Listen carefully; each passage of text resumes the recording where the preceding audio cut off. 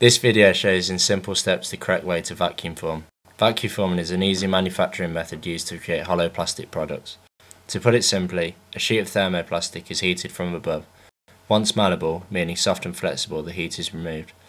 A mould is raised into the plastic from below. Finally, the air is vacuumed out from below, forcing the malleable plastic onto the mould and making the plastic take the shape of the mould. To begin, you will need a sheet of plastic, usually high impact polystyrene, a mould to vacuum form, and a vacuum forming machine. There are a number of different parts to the vacuum former.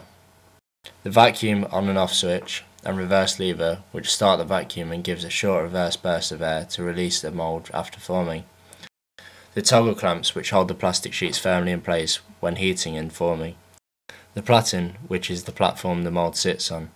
The heater and heat controls which can be pulled over the plastic sheet to heat it. And the platen lift, this lowers and raises the platen platform. To begin the process you must first make sure the mould is finished properly. This means all the edges are smooth and rounded and the sides are tapered, meaning angled at at least 5 degrees. This is to ensure the mould can be released from underneath the plastic after forming. Additionally, if there are any cavities in the mould, like in this example, a small hole must be drilled from the cavity to the bottom of the mould. These are called vent holes. They are used to help pull the last of the plastic sheets into corners where the original vacuum will not reach.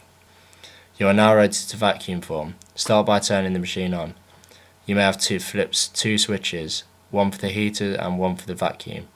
Next place the mould onto the platen and lower the mould using the platen lift. Get your plastic sheets and clamp it tightly over the mould using the toggle clamps. Make sure it's held tight and there are no gaps around the edges for any air to escape. Now pour the heater over the plastic sheet and turn the heater knobs on. You can adjust the amount of heaters and their heat to match the size and thickness of your plastic sheets. You must heat your plastic until it becomes soft and begins to sag. Heated plastic follows three steps. Firstly it will become very hot, it will then begin to wrinkle and finally it will sag.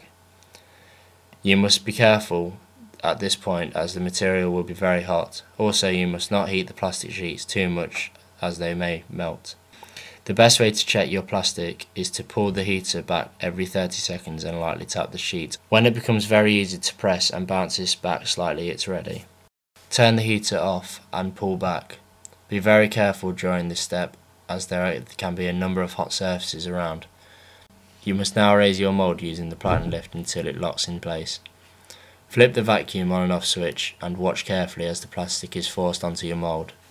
When the plastic has tightly covered your mould, use the reverse lever to separate the two.